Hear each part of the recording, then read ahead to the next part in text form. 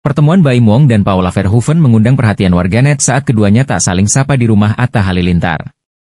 Hadir bareng ke pesta ulang tahun Azura Baim Wong dan Paula Verhoeven saling buang muka. Selain itu aktor Baim Wong memperlihatkan pertemuannya dengan Paula Verhoeven. Keduanya bertemu di sekolah anak. Lewat instastory-nya, Baim Wong memperlihatkan momen mengantarkan anak ke sekolah. Saat tiba di lokasi, terlihat sosok Paula Verhoeven. Kala itu, Baim Wong memakai kaos hitam dengan celana loreng. Sementara, Paul Verhoeven mengenakan gamis warna coklat senada dengan hijab yang dipakai. Rupanya, mereka memantau anak di sekolah dari pintu gerbang. Sayangnya, Paula Verhoeven terlihat jaga jarak dengan Baim Wong. Sikapnya tampak dingin ketika diajak berbincang oleh Baim Wong. Paula anak kita digituin, lucu tuh rambutnya, eh celetuk Baim Wong. Namun, Paula Verhoeven memilih tak banyak berbicara. Dia memilih memusatkan pandangan ke anaknya yang tengah bersekolah. Momen ini dibagikan ulang akun TikTok Niken underscore Wijaya. Di kolom komentar, tak sedikit yang menyoroti sikap Paula yang dingin pada Baim. Melihat itu, isu Baim dan Paula bakal rujuk pun kian terjawab.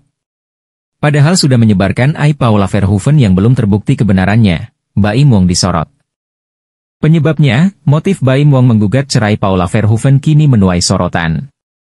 Bahkan, psikolog Lita Gading curiga adanya prank dari gugatan perceraian yang dilayangkan Baim Wong kepada Paula Verhoeven. Apalagi dengan munculnya isu rujuk setelah Baim Wong menggugat cerai sang istri.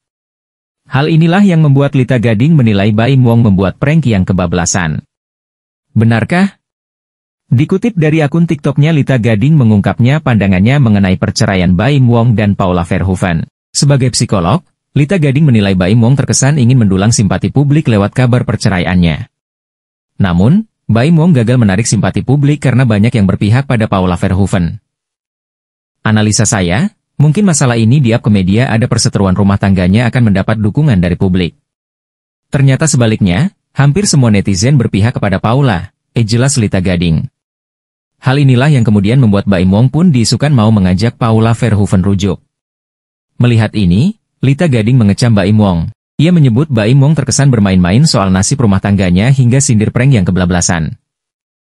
Ceritanya mau bikin prank, tapi kebablasan. Kan memang kerjaannya dia bikin prank. Namun, jangan sampai perkawinan dijadikan prank karena perkawinan itu sakral, ia tegas Lita Gading.